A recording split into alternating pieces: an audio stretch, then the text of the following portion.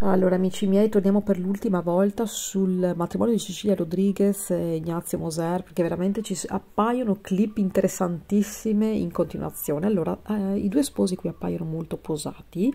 Adesso tra un po' vedremo la nostra Cecilia in mutande che tira il bouquet.